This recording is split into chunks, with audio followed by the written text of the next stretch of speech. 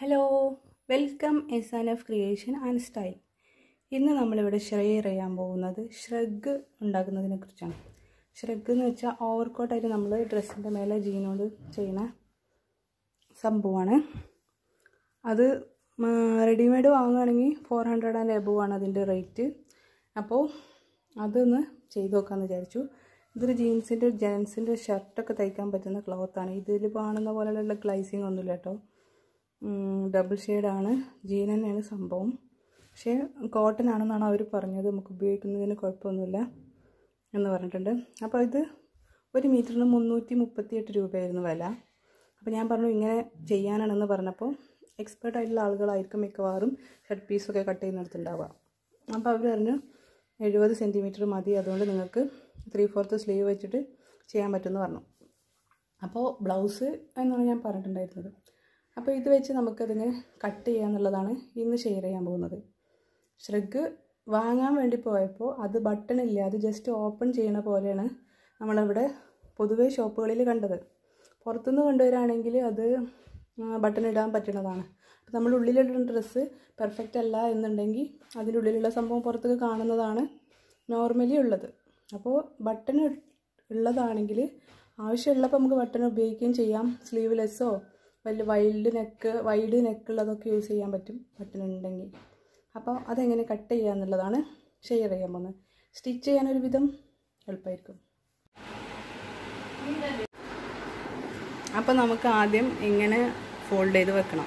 അതായത് നേരെ പകുതിയാക്കാതെ നമുക്ക് എത്രയാണോ ബാക്കിലെ വീതി വേണ്ടത് അതിനനുസരിച്ച് ചെയ്ത് വെക്കണം. അപ്പോൾ പന്ത്രണ്ട് ഇഞ്ചാണ് ബാക്കിലുള്ള ഡ്രസ്സിന് ബാക്കിലുള്ള വീതി.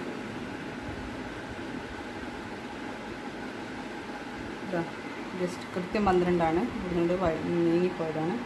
ഇത്രയാണ് വീതി ഉള്ളത് അപ്പോൾ ഇതേപോലെ നമ്മൾ കട്ട് മടക്കി വെക്കുക ആദ്യം നമ്മുടെ ക്ലോത്ത് എന്നിട്ടൊരു ബ്ലൗസ് എടുത്തിട്ട് ബ്ലൗസിന്റെ ബാക്ക് പാർട്ട് അതിമ വെച്ചിട്ട് കട്ട് ചെയ്യാം. അളവും കാര്യങ്ങളും കൃത്യമായിട്ട് എടുത്തിട്ട് മെഷർമെന്റ് പാറ്റേൺ വെച്ച് കട്ട് ചെയ്തിട്ട് കട്ട് ചെയ്യുന്നതാണ് നന്നാവുക. ഇത് ഞാൻ പെട്ടെന്ന് പരിപാടി തീർക്കണമെന്നാണ് നമ്മുടെ ഉദ്ദേശം. അതിനുവേണ്ടി ബ്ലൗസ് എടുത്തു. ബ്ലൗസിന്റെ ബാക്ക് പാർട്ടാണിത് അത് വന്ന് ശരിക്കും നമുക്ക് ഇത്രയും മതി. പക്ഷേ കുറച്ചുകൂടി കൂടുതലായിക്കോട്ടെ എന്ന് വിചാരിച്ചിട്ടാണ് ഇത്രയും എടുത്തിട്ടുള്ളത്. ഇത് മൊത്തം ഒരുപാട് ഇഞ്ച് കൂടുതലുണ്ടാവും. മിക്കവാറും ഇത്തരം വരെ മതിയാവും. അതിന്റെ ബാക്കി നമ്മൾ കട്ട് ചെയ്ത് കളയാനുള്ളതാണ് അപ്പോൾ ഫസ്റ്റ് ബ്ലൗസിന്റെ നെക്ക് ഇതാ. ഇതുപോലെ വെക്കുക. സ്ലീവ് കറക്റ്റ് വെച്ചിട്ട് നമുക്ക് ഇങ്ങോട്ട് കട്ട് ചെയ്തെടുക്കാം. കേട്ടോ ഫസ്റ്റ് വരച്ചിട്ട് വേണം കട്ട് ചെയ്യാൻ. അപ്പോൾ നമുക്കറിയാൻ പറ്റും. പിന്നീട് നമുക്ക് ഡൗട്ട് ഉണ്ടെങ്കിൽ വേണമെങ്കിൽ ഒന്നും കൂടെ മെഷർമെന്റ് കറക്റ്റ് ചെയ്ത് വെച്ചതിന് ശേഷം കട്ട് ചെയ്താൽ മതി. നേരിട്ട് ക്ലോത്തിൽ കട്ട് ചെയ്ത് ഫസ്റ്റ് കട്ട് ചെയ്യുന്നവരാണെങ്കിൽ നേരിട്ട് ക്ലോത്തിൽ കട്ട് ചെയ്യാതെ നമ്മുടെ പേപ്പറിൽ കട്ട് ചെയ്തതിന് ശേഷം ചെയ്യാം. ഇതെന്തിനാണ് ഇങ്ങനെ വരച്ചതെന്ന് വെച്ചാൽ ഇത് ഷോൾഡർ സ്ലോപ്പാണ് പിന്നെ ഇത് ഫ്രണ്ട് പോർഷൻ പ്രിൻസസ് കട്ട് ആണ് വിചാരിക്കുന്നത്. അപ്പോൾ ശ്രദ്ധ ആണെങ്കിൽ നല്ലോണം ടൈറ്റ് ആവാനും പാടില്ല. എന്നാലോ നല്ലോണം ലൂസ് ആവാനും പാടില്ല. അപ്പോൾ അതിന് വേണ്ടിയിട്ടാണ് ഇങ്ങനെ ഒരു കട്ട് ഇവിടെ വെച്ച് കൊടുക്കാമെന്ന് വിചാരിച്ചത്. നല്ല ലുക്കൊക്കെ തോന്നുവാണെങ്കിൽ രണ്ട് പോക്കറ്റിന്റെ ഒരു ഫ്ലാപ്പ് കൂടെ വെക്കണമെന്ന് കരുതുന്നുണ്ട്. അപ്പോൾ ഫസ്റ്റ് ബാക്ക് പോർഷൻ കട്ട് ചെയ്ത് കളഞ്ഞു. അപ്പോൾ ഇത് കട്ട് ചെയ്ത് കഴിഞ്ഞപ്പോഴാണ് ഇത് ഷെയർ ചെയ്യാലോ എന്ന് തോന്നിയത്. അതുകൊണ്ടാണ് അത് കട്ട് ചെയ്യുന്നത് ഇതിലിടാതിരുന്നത് ഇനി നമുക്ക് ഫ്രണ്ട് പോർഷനാണ് കട്ട് ചെയ്യാനുള്ളത്. അപ്പോൾ ഫസ്റ്റ് നമ്മൾ ബാക്ക് പോർഷൻ കട്ട് ചെയ്യുമ്പോൾ അതുകൊണ്ടുള്ള ഏറ്റവും ബെറ്റർ എന്താണെന്ന് വെച്ചാൽ ഫ്രണ്ട് കട്ട് ചെയ്യാൻ എളുപ്പമാണ്. ഫ്രണ്ട് കട്ട് ചെയ്യാൻ ഇതുപോലെ ഈ ക്ലോത്ത് ഇങ്ങോട്ട് എടുത്തിട്ട് ഫ്രണ്ടിൽ നമുക്ക് തുറപ്പുണ്ടാവുമല്ലോ? അപ്പോൾ നമ്മുടെ ക്ലോത്ത് ഇങ്ങനെ വെച്ച് കൊടുത്താൽ മതി. അപ്പോൾ എക്സസ് ആയി കിടക്കുന്ന ഈ പീസ് ഉണ്ടല്ലോ. ഇതാ ഇവിടെ. ഇത് നമുക്ക് ബട്ടൺ ഇടാൻ വേണ്ടിയിട്ടുള്ള സംഭവമായിട്ട് ഉപയോഗിക്കാൻ പറ്റും. അപ്പോൾ ബട്ടൺ ഇടാനുള്ളതായി. പിന്നെ ഒന്ന് അറ്റാച്ച് ചെയ്ത് കൊടുക്കേണ്ട. അത് നേരെ ഫോൾഡ് ചെയ്തിട്ട് അതുമ്മ ബട്ടൺ ഫിറ്റ് ചെയ്താൽ മതി. അപ്പോൾ ബാക്ക് പാഷനാണിത് ഇത് ഇങ്ങോട്ട് സൈഡിലേക്ക് ചേർത്ത് വെച്ച് കൊടുക്കുക പിന്നെ അടിഭാഗമൊക്കെ സെയിം ആണ്. അവിടെ ഒന്നും ചെയ്യാനില്ല ഫ്രണ്ടിൽ പക്ഷേ പ്രിൻസസ് കട്ട് കട്ട് ചെയ്യാനുള്ളത് ഫ്രണ്ടിലാണ് കേട്ടോ അത് ബാക്കിലല്ല ബാക്ക് സെയിം അതേപോലെ തന്നെ അങ്ങ് ചെയ്താൽ മതി. അപ്പോൾ ഇനി നമുക്ക് ഫ്രണ്ട് വരച്ച് കട്ട് ചെയ്യാം. അപ്പോൾ അതാ നമ്മൾ ഇതിൽ ഫ്രണ്ട് വരച്ച് വെച്ചു. പിന്നെ ബാക്ക് ആം ഹോളിൽ നിന്ന് ഒരിത്തിരി കർവ് ഉള്ളിലേക്ക് എടുത്തിട്ടാണ് ഫ്രണ്ട് ആം ഹോൾ കട്ട് ചെയ്യുന്നത്. അത് അതിന്റെ ആവശ്യമൊന്നുമില്ല എന്നൊക്കെയായിരുന്നു ആദ്യം ഞാൻ കരുതിയിരുന്നത്. അപ്പോൾ അത് പക്ഷേ പെർഫെക്റ്റ് ഫിറ്റ് ആവണം എന്നുണ്ടെങ്കിൽ നമുക്കത് ചെയ്യണം. പിന്നെ ബട്ടൺ വെക്കാനുള്ളത് എക്സസ് ആയിട്ട് അങ്ങോട്ട് വെച്ചിട്ടുണ്ട്. അപ്പം നമ്മൾ ഫ്രണ്ട് നെക്ക് കട്ട് ചെയ്യുമ്പോൾ ആദ്യം അത് ആ എക്സസ് ആയി വെച്ചിട്ടുള്ള പാർട്ട് ഫോൾഡ് ചെയ്ത് അടിയിലേക്ക് വെക്കണം. അതിന് ശേഷം വേണം കട്ട് ചെയ്യാൻ. അപ്പോൾ അത് ഫോൾഡ് ചെയ്ത് വെച്ചു. ഇതാ ഇവിടെ അങ്ങോട്ട് ഫോൾഡ് ചെയ്ത് വെച്ചിട്ടുണ്ട്. അതിന് ശേഷം വേണം നമുക്കിത് കട്ട് ചെയ്യാൻ. അല്ലെങ്കിൽ നമ്മൾ നെക്ക് ചെയ്യുമ്പോൾ തെറ്റിപ്പോകും പിന്നെ കോളർ നമ്മൾ അവിടെ അറ്റാച്ച് ചെയ്യണം.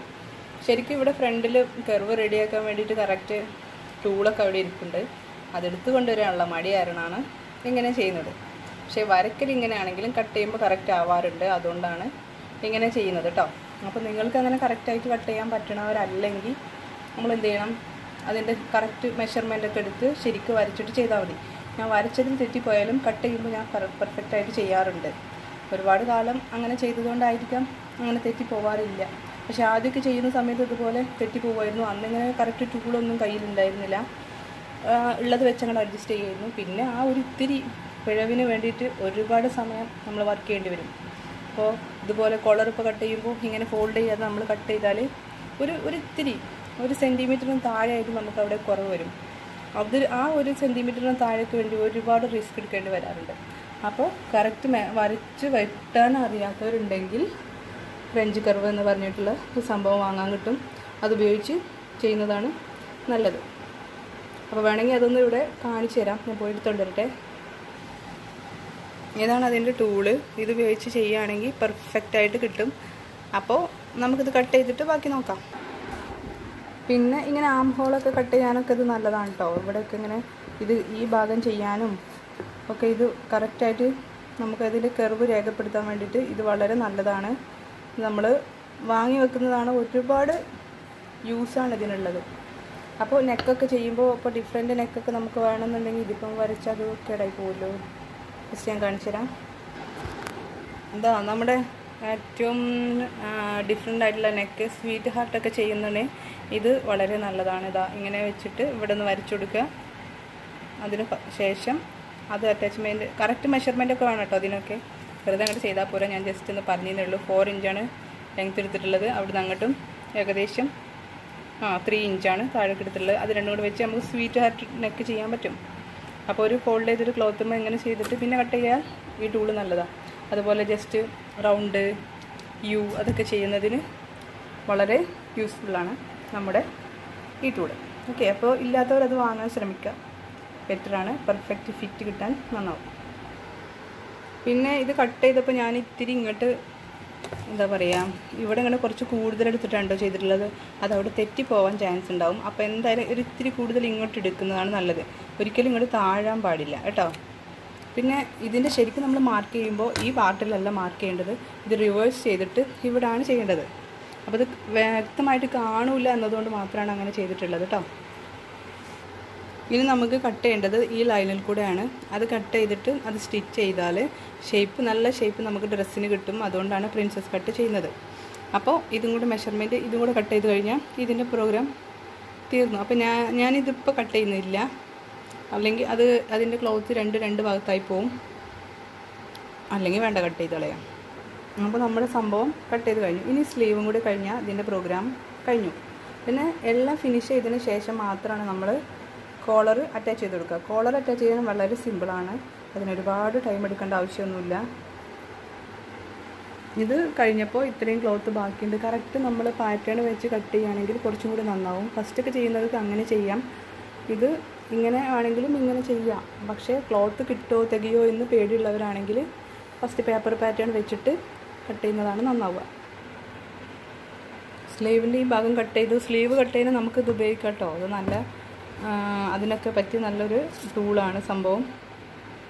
പിന്നെ അത് കഴിഞ്ഞിട്ട് നമ്മൾ സ്ലീവിന്റെ ഈ ഭാഗം ഉണ്ടല്ലോ ഇവിടെ സെന്റർ ഏതാണെന്ന് അടയാളപ്പെടുത്താൻ വേണ്ടി ഒരു ചെറിയൊരു അടയാളം ഇട്ട് കൊടുക്കുന്നത് നല്ലതാണ്. അത് ഷോൾഡറിന്റെ ജോയിന്റിലേക്ക് വരാനാണ് നോക്കേണ്ടത്. അപ്പോൾ പതിനാറ് ഇഞ്ച് അടയാളപ്പെടുത്തിയിട്ടാണ് സ്ലീവിന് കട്ട് ചെയ്യുന്നത്. ത്രീ ഫോർത്ത് സ്ലീവാണ് അത് മാത്രമല്ല ഫുള്ള് ഇപ്പോൾ പതിനെട്ട് ഇഞ്ചൊക്കെ എടുത്തിട്ട് നമുക്ക് പിന്നെ വേണമെങ്കിൽ കട്ട് ചെയ്തെടുക്കാം കളയാം എന്നാണ് ഞാൻ പൊതുവെ സ്ലീവ് ചെയ്യുമ്പോൾ ചെയ്യാം. പക്ഷേ ഇതിന് കോളർ ആവശ്യമുള്ളത് കൊണ്ട് വേറെ ക്ലോത്ത് ഇതിമ ഇല്ലാത്തത് കൊണ്ടും നമ്മൾ എക്സസ് ഈ ക്ലോത്ത് നമുക്ക് വേണം. പിന്നെ ഇത് ഈ സ്ലീവ് ത്രീ അങ്ങനെ കട്ട് ചെയ്തതിന് ശേഷം പിന്നെ നമുക്ക് എക്സ എക്സ്ട്രാ ക്ലോത്ത് വേണമെന്നുണ്ടെങ്കിൽ പിന്നെ ഈ കോളറൊക്കെ കട്ട് ചെയ്തിട്ട് ബാക്കി വരുന്ന ക്ലോത്തില്ലേ അതുപോലെ നമുക്ക് എടുക്കാൻ പറ്റും.